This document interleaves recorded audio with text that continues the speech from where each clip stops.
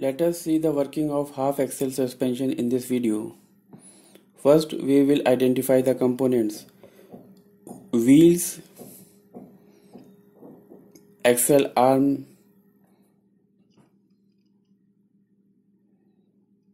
differential or chassis and shock absorbers. Shock absorbers comprise of springs in a cylindrical suspension object which absorbs the disturbances. We can see that wheels are mounted rigidly to axle. These half axle are independent to move and are connected to chassis or differential. Let us see how it works. We can see the half axle system as it moves in a pathway.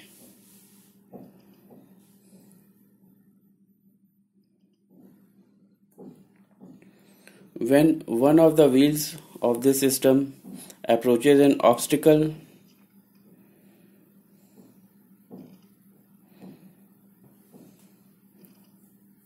then the axle arm movement compresses the spring and so the disturbance is absorbed.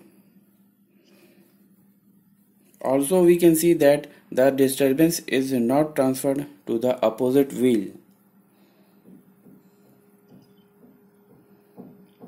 So we can see that both the half axles work independently and are proper for absorbing disturbances.